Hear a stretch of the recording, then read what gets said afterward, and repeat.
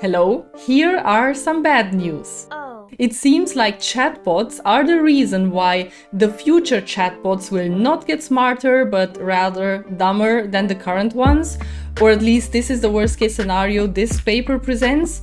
And if the future internet will be flooded by data generated by large language models and the internet will remain the source of training data for future language models, then these future models will degrade a lot. In this video, we will discuss what the problems are with training models on data from other models, how likely it is that the internet of the future will contain almost only language model generated data, and which will help us to assess if and how much this paper exaggerates in its assumptions, which affects its conclusions. Do you ever wonder how the chatbots of the future can become better than the existing ones? Well, by letting them ingest even more high quality data during training, or at least this seems like the way to do it without any other innovation besides the engineering tricks we are already using. And even with technical innovation, this is machine learning after all, meaning that lots of good training data is always a great idea. But there is a limit to how much training data we can get in the future researchers extrapolated from past trends how much unlabeled text and data we can expect on the internet in the future and conclude that high quality text data will be exhausted soon, likely before 2026, and that low quality text and image data will be exhausted much later between 2030 and 2050.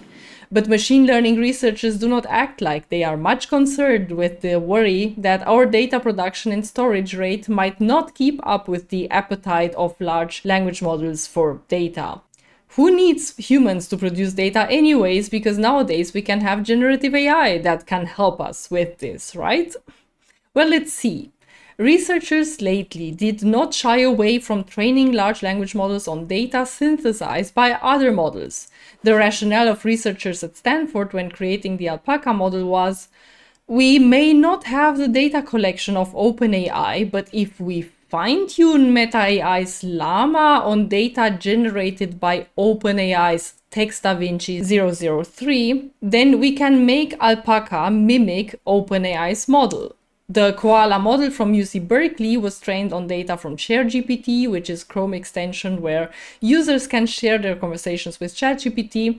And researchers have also used data generated by models that were already trained with RLHF to stand in for human demonstrations when training other models with RLHF. But this paper says that there is a danger when recursively training models, so it is a bad idea to train on data generated by another model, which in turn was trained on data from another model, and so on. It sounds an alarm signal that recursively training a model on a previous model output can lead to worse and worse models with every training generation and can lead to very stark degradation of the last generation models. At first, I thought that the assumption and experimental settings of the paper are exaggerated, and we will discuss in the next part of the video why they might be less exaggerated than I initially thought. But first, let's see the three illustrative experiments from the paper about model degradation when trained recursively.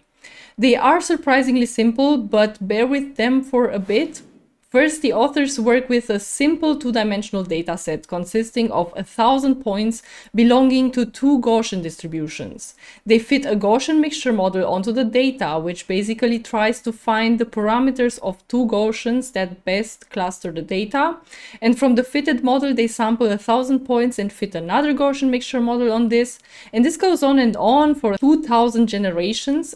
And I know that 2000 generations seem a bit over the top, but the point here is to see that the bigger picture of what small degradations in each generation lead to. At each generation, the shape of the original data is degraded and already at generation 100 becomes unrecognizable. At 2000 generations, they show that the estimation of the distribution collapses into this tiny region with very low spread. Why like this and not differently? Well, because the models of the first generations train on data sampled from the early generation. During sampling, we see common events with more probability and less common ones with less probability. So because later models see rarer events less, they more and more forget these rare events of low probabilities. The second reason is that later generations of models entangle and remix different facts that were previously learned well. The reason for this is that models either underfit the data and entangle different facts or overfit outside the sample distribution and invent new data points. Because there there's no data that can guide the training so the model can fit any function outside of the training distribution. And the same message that we saw clearly in the interpretable two-dimensional space we see in the following more complicated experiments as well the authors train a variational autoencoder on the MNIST dataset for 20 generations, where each generation trains just on data sampled from the previous generation, so no real data whatsoever. We will discuss later whether this is exaggerated or not. The authors see that the variational autoencoder at every generation degraded in its ability to produce good looking digits, and generation 20 produces all the same type of mixes of digits. So as previously, the models converge to just one type of data with low variance and forget the specificities that make up each individual digit. Then finally, language models. Unfortunately, the authors do not pre-train any language model because they say it's costly, but arguably they did not need to train GPT-3 a small GPT-2 type model would have sufficed to prove their point.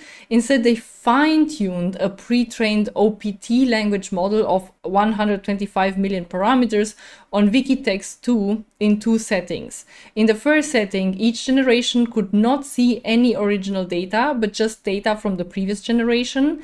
And in the second setting, finally, they let the model see some real data at each generation, namely 10% real data and 90% data sampled from the previous generation. And as before, but now with language models, the ninth generation models assigned high probability to sequences that the original OPT model would have never produced.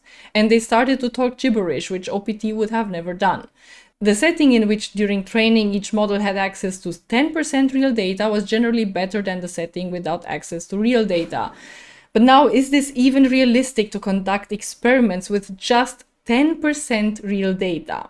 First, when reading the paper, Miss Coffee Bean thought that the paper bluntly exaggerates their estimations because, come on, they do their analysis and their experiments based on the assumption that models only have access to either no human produced data or as little as 10%.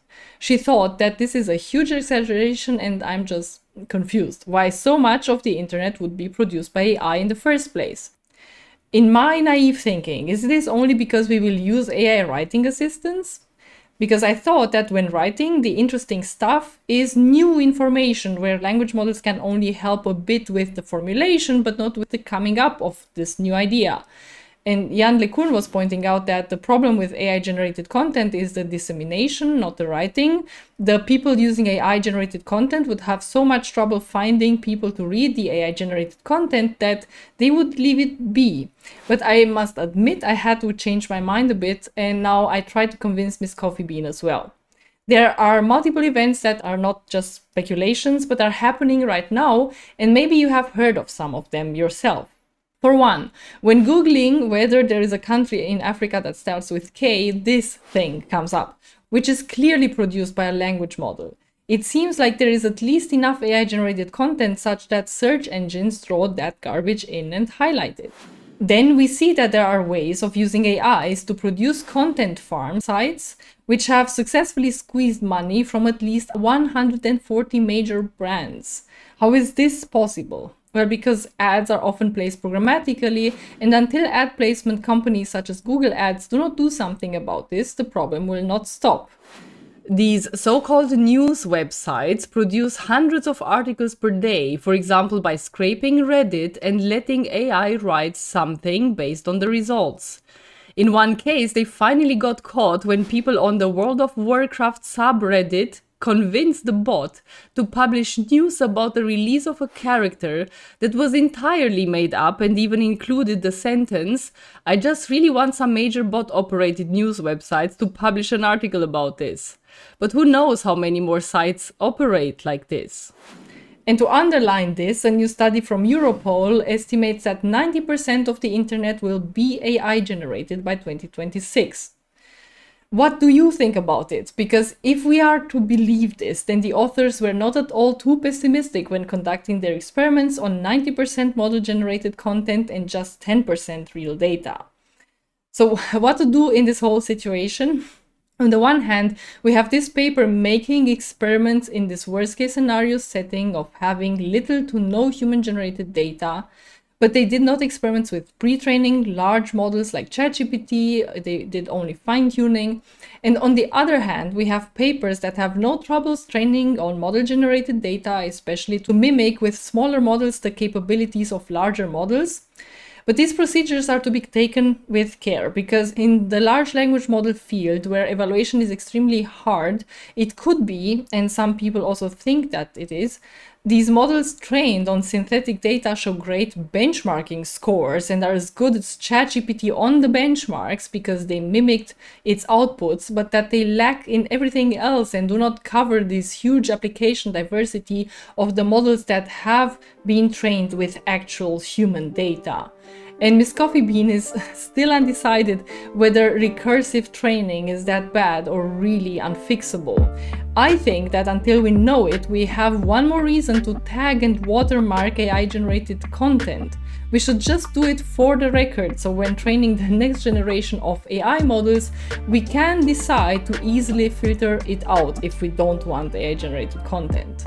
So, are you worried about AI generated content that is flooding the internet? We'll see what you think about this in the comments, and we hope to see you next time.